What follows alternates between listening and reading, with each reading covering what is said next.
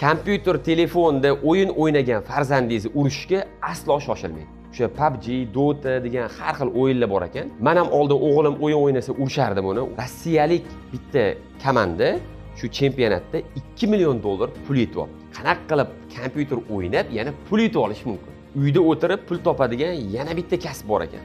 o'n o'n ikki o'n uch o'n to'rt yoshli bolalar uyda o'tirib normalniy pul topib o'tirgan ekan. O'yin o'ynaganga ham kimdir pul berar ekan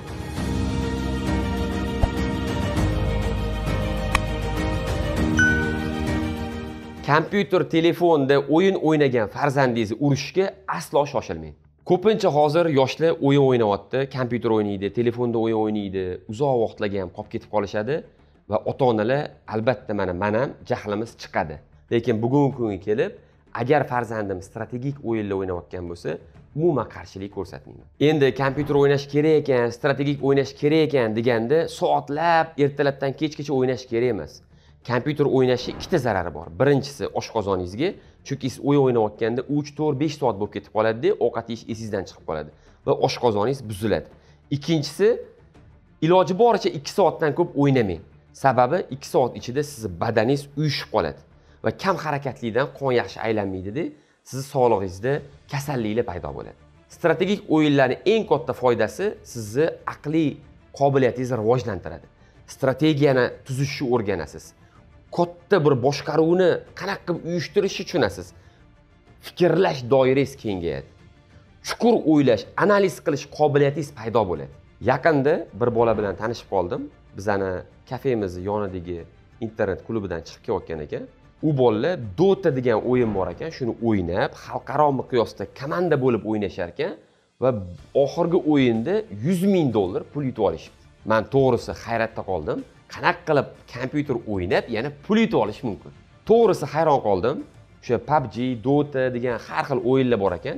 Man ham oldin o'g'lim o'yin o'ynasa urishardim uni. O'yin o'ynama sog'lig'ingga zarar charchab qolasan ko'zing og'rib qoladi ertaga ochkiy taqasan oshqozoning og'riydi deb har doim qarshilik ko'rsatardim lekin keyin o'g'limga to'g'ri tushuntirib berdim. Strategik o'yinlar o'ynagin uni foydasi bo'ladi dedim. Ammo o'sha strategik bo'lmagan o'yinlarni ham foydasi bor ekan. Qanaqa ma'noda? Yaqinda bir bola bilan tanishib qoldim. U onlayn o'yin o'ynab ularni jamoasi bor ekan. O'sha jamoasi bilan xalqaro miqyosda onlayn o'yin o'ynab pul yutib olishar ekan. Ular ham xuddi mana futbolniy komandaga o'xshab komanda bo'lishar ekanda boshqa dunyodagi davlatlardagi komandalar bilan o'yin o'ynashar ekan va kim yutib chiqsa u yerda pul yutib olar ekan. Bu o'yinlar o'zi pul tikmas ekan. Ya'ni man shubhalangan edim qanaqa bu nima masalalaga anavi boshqacha anavi gunoh ishmi deb o'yladim. Yo'q bular pul tikmas ekan. O'zini taktikalarini texnikalarini qo'llab birga guruh bo'lib yutishar ekan va yutsa ularga o'sha chempionati bor ekan. Chempionatda qaysidir o'rinni olsa ularga yuz ming dollargacha pul berar ekan. Man to'g'risi hayron qoldim. И u bolalar umrbod buni o'ynamas ekan. Ikki uch yil o'ynab normalniy pul topib olgandan keyin bu ishni yig'ishtirib biznes qilishar ekan. Bu ham yomon fikr emas biznes qilish uchun. Bolalaringlar agar o'yin o'ynayotgan bo'lsa va sog'lig'iga zarar bermayotgan bo'lsa o'sha vaqtida ovqatini yeb vaqtida fizkultura qilib e, o'zini juda ko'p soatlab o'yin o'ynayotgan bo'lsa ularni qidirib urishverib terga urmaydi. O'zi ma'lum bir vaqtdan keyin o'yin o'ynash bolani joniga tegadi va bola o'yin o'ynashni to'xtatadi. Mana mana shu o'yinlarni guruh bo'lib o'ynash ya'ni komandalar aro o'yinlar bo'lar ekan buni kibersport deb nomlanar ekan man ham qiziqib qoldim. Nima ekan bu deb qiziqib shuni o'rganib chiqdim. Hattoki mana oxirgi yili rossiyalik bitta komanda shu chempionatda ikki million dollar pul yetyapti. U komandada yetti kishi va ularni menejeri bo'ladi. Ya'ni o'sha sakkiz kishi ikki million dollar pulni bo'lishib olishgan.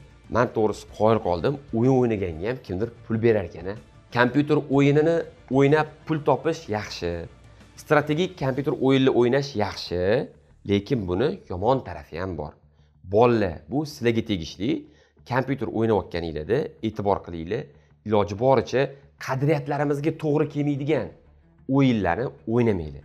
Ya'ni o'sha o'yinda o'sha musulmonlarni o'ldirsa terroristlar terroristlarni o'vlovchilar bo'lib qoladigan bo'lsa iloji boricha bunaqa o'yinlardan uzoq turishga harakat qilinglar. Va eng asosiysi o'sha soatlab o'ynamanglar. Eng uzoq ikki soatdan keyin o'ynashni to'xtatinglarda chiqib boshqa ish bilan shug'ullaninglar. Va eng asosiysi o'yin o'ynab ovqat yeyishni esdan chiqarib qo'ymaydi. Va o'yin o'ynayotganinglarda har yarim soatda o'yinni to'xtatib pauzani bosib o'rninglardan turib jismoniy mashg'ulot bilan shug'ullaninglar. O'shanda badaninglarda qon aylanib shu o'yinda yanada yaxshiroq o'ynaysizlar va g'alaba qilish imkoniyatinglar oshib ketadi. Va faqat o'yin o'ynaverib kuniga o'sha to'rt besh o'n soat o'ynab darslar qilmasdan kitoblar o'qimasdan yoki ishinglar qolib ketib ham o'yin o'ynamaydi. Chunki bu hayotinglarni qorayishiga ya'ni hayotda muvaffaqiyatsizlikka duch kelishinglarga sabab bo'ladi. Hamma narsani me'yorda qilsanglar katta yutuqqa erishasiz. Uyda o'tirib pul topadigan yana bitta kasb bor ekan. Strimerlik man yaqinda eshitib qoldim bu kasbni o'zi anchadan beri bor ekan.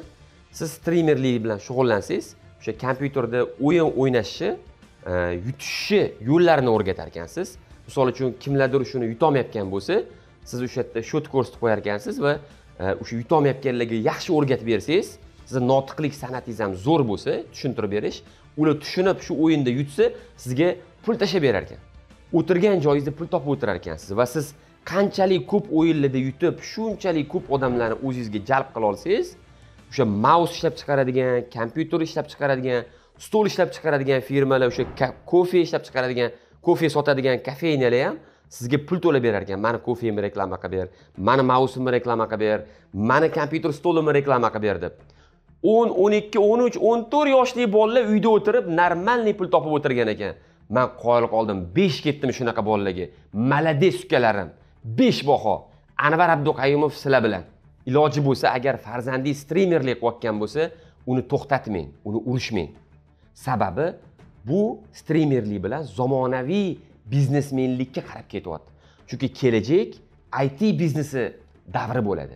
Farzandingiz strimerlik orqali yosh bola bo'lib turib it biznesiga ilk qadamlarini qo'yyapti. Nimaga to'syapsiz bolangizni to'smang qo'llab quvvatlang man shaxsan o'zim shunaqa bolalarni qo'llab quvvatlayman malades bolalar. Man ham yoshligimda kazaki degan o'yinni va sivilizatsiya degan o'yinni kasali bo'lganman. Shu o'yinni qattiq o'ynardim lekin ozgina sog'lig'imga zarar yetish boshlagandan keyin man to'xta dedim.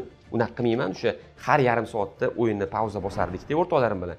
Bolalar turdik derdik hammamiz turardik internet kafeda bitta fizkultura qilib olardik. Ikki minut razminka keyin yana bosardik. Uch ikki uch soatlab shuni o'ynardik keyin to'xtatardik ketardik. O'zi bir soatda ma'lum bo'lardi. O'zi ikkita uchta partiya o'ynardik birinchi partiyada kimdir yutardi ikkinchi partiyada ham o'sha komanda yutsa bo'ldi o'yin tugab ikki soatda qaytib ketardik. Mabodo ikkinchi partiyada necha qolsa endi uchinchisini o'ynaymiz derdikda. Uchinchisini o'ynab kim yutsa o'sha yutgan bo'lardi. Yutganlar maqtanib yutqizganlar o'sha kulib ustidan maza qilib xursand bo'lib uyga ketardik. Yutqizganlar tushkunlik kayfiyatida uyiga zo'rg'a yetib olardi. Afsuski yoshligimda shu strimerlik hali bo'lmaganda u yerda onlayn o'yinlar yo'q edi. Shuning uchun biza internet kafega borib o'ynardik. Agar hozir agar man yosh bola bo'lib qolsam man albatta strimer bo'lardim. Kompyuterda sivilizatsiya o'sha bormi? Sivilizatsiyani yoki boshqa strategik o'yinlarni o'ynab hammani yutib tashlab o'sha komandam bilan birga katta pul topib ham bu notiqlik san'atini ishga solib strimerlik qilib rosa katta pul topardim. It biznesini rivojlantirib yuborgan bo'lardim.